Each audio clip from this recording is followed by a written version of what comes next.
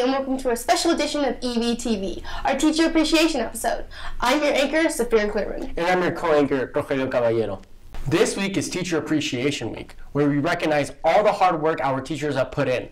This year was pretty intense, and has had its share of ups and downs.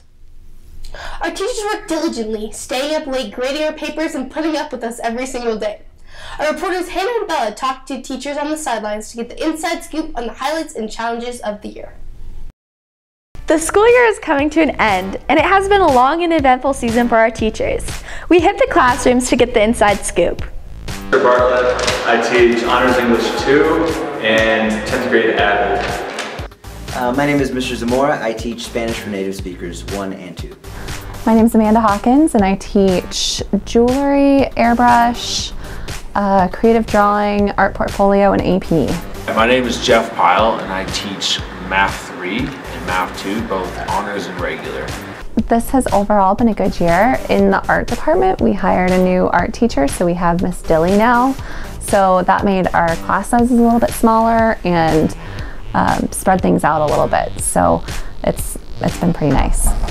As the teachers have grown this year, so have their students. Relationships have been developed throughout this year due to the interactions that have been exchanged.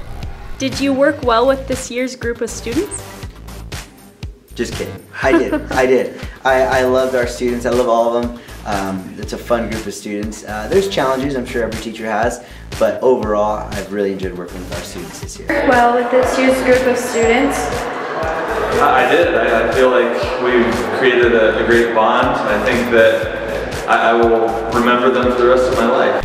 After everything the teachers have experienced this year, they are looking forward to achieve their goals and continue to improve. And what are your goals for next year? Goals for next year. Be a better teacher, always. What are your goals for next year? My goals for next year is to create a classroom where students are doing more of the teaching and the learning and I'm going to be more of the person supervising the class and leading them in the directions that they need to go. As our teachers continue to work hard and improve in their near future, make sure to show them your support and appreciation. This has been Hannah and Bella. Back to you in the studio. Here at EVTV, we appreciate all of our teachers' hard work. Hey Ro, how do you think we should appreciate our teachers? Well, once I bought Mr. Knight some donuts, but our reporters Alondra and Ty have some fun and creative ideas. Teachers don't become teachers for the money. They become teachers because they want to make a difference. They want to plant that seed that will make the change. So this week, let's appreciate our teachers for the late nights of grading papers and creating lessons. Here's some ideas. You could always write a letter to your teachers to let them know how they have impacted you. I'm sure they'll appreciate it. Or if you think your teacher would enjoy something else, you could always make them a playlist with some tunes everybody enjoys.